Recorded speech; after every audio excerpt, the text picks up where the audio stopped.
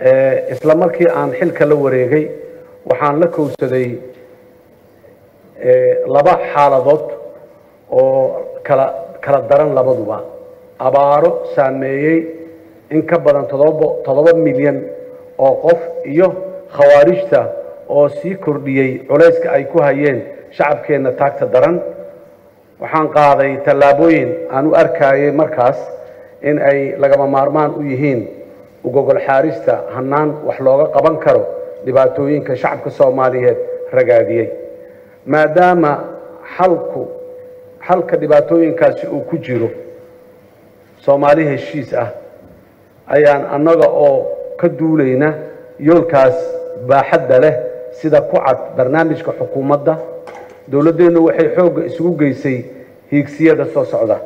Kow soomaaliya sharcigu sarreeyo labo soomaaliya heshiis ah saddex soomaali dunida heshiis la ah afar soomaali isku filan iyadu shan soomaali cagaaran oo ka baxday xaalufka iyo maxaan ku raha geyiga guuray lix dhisidda hay'ado taya leh oo bixiya oo bixin kara adeeg hufan oo ku filan dadka soomaaliyeed. Mudanayaal iyo marwooyin waxaan bogaadinayaa howlihii uu soo qabtay baarlamaanka federaalka jamhuuriyadda soomaaliya kalfadhigiisii koowaad oo ay ugu horeysay doorashooyinkii guddoonka madaxweynaha iyo kalsoonisiintii ra'iisul wasaaraha iyo xukuumadda. Sidoo kale inaad dhisateen guddiyadii joogtada ahaa iyo xubnihii idinku mateli lahaa baarlamaanada caalamka. Waxaan sidoo kale bogaadinayaa xubnaha ka tirsan baarlamaanka golayaasha ee u guntaday in ay garab istaagaan ciidamada qalabka sida iyo shacabka soomaaliyeed ee u istaagay in ay iska xoreeyaan khawaarijta. Waxaan shacabka soomaaliyeed hormuud uga noqoteen macnaha dhabta ah ee matalaadda shacabku ay tahay ama ay leedahay.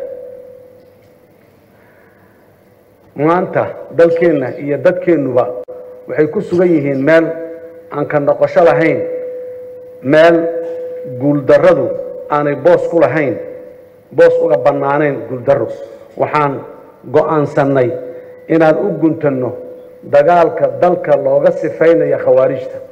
Waxaan soo waayey ka madaxweyne ahaan jid aan ahayn inaan difaacno karaamadeenna islaamnimadeenna iyo qarannimadeenna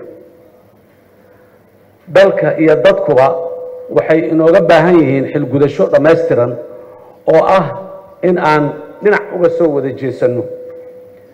Halka cadow ee soomaaliyada maanta ay leedahay.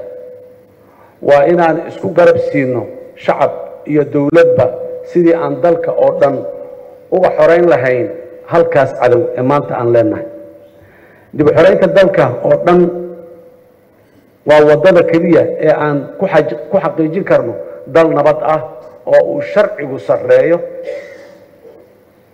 waxaad ogsoon tihiin in shacabka soomaaliyeed ee ku dhaqan degaanada kala duwan ay ku baraaru ku baraarugeen dhagarta cadowga iyaga oo garawsaday khawaarijta al-shabaab iyo daacish in ay yihiin khawaarij in ay yihiin.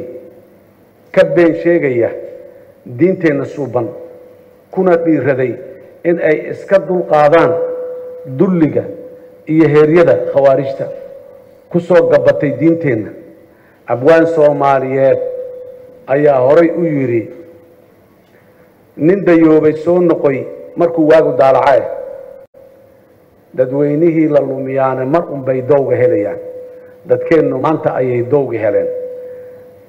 Dadweynaheenna iyada oo aan muddo badan xafiiska dowladdeenna annagoon muddo badan xafiiska joogin waxay garatay in kacdoonka shacabka soomaaliyeed uu kaalin mug leh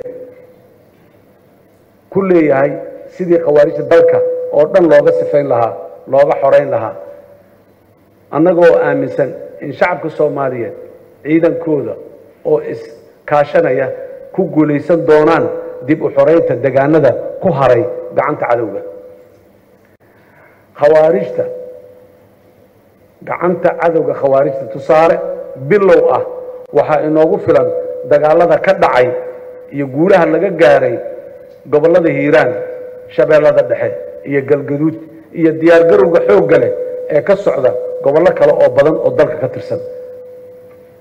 Waxaan shaki ku jirin in maadaama aan dagaal ku jirno cadowguna uu jab weyn gaaray ay beegsan doonaan shacabka aan waxba galabsanin sida weerarkii sagaal iyo labaatankii oktoobar ee ka dhacay agagaarka zobe.